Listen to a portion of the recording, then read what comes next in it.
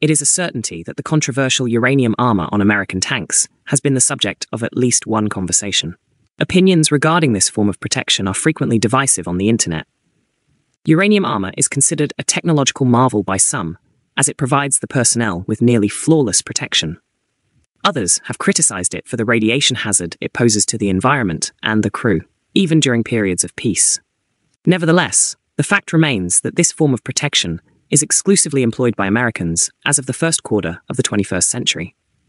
Therefore, what is the limit, and is uranium armor truly as detrimental as some contend? Uranium armor for tanks was actively being developed in numerous countries, including the Soviet Union and West Germany, at one point. Nevertheless, uranium plates were the sole option for the United States by the end of the 20th century.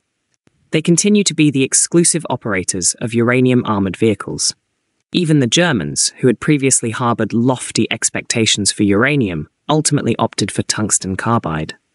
There are three variants of uranium armor for tanks that are currently known in the United States one UO 87 version and two UO 100 versions.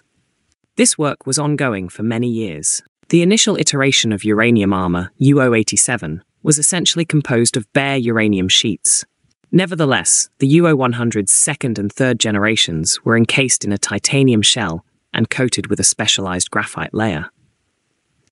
The second and third generation plates are nearly identical to the first generation plates in terms of their protective properties. Nevertheless, the more recent variants are significantly more clean than their predecessor, the UO87. It is important to note that the introduction of UO100 was primarily motivated by the unfavorable reality that the number of cancer cases among American tank crews increased considerably following the implementation of the new protection. Depleted uranium plates are, of course, not nearly as dirty as nuclear fuel. However, even protracted exposure to minimal radiation was sufficient to impact the health of the tank crews. Uranium armor has severe disadvantages, even when the radiation factor is disregarded, despite these substantial advantages. Therefore, what are the advantages of uranium armor? To begin with, uranium armor is highly durable and dense, offering exceptional defense against copper based shaped charges and kinetic projectiles. Furthermore, the fabrication of uranium armor is a highly cost effective industrial process. Uranium armor has severe disadvantages, even when the radiation factor is disregarded, despite these substantial advantages.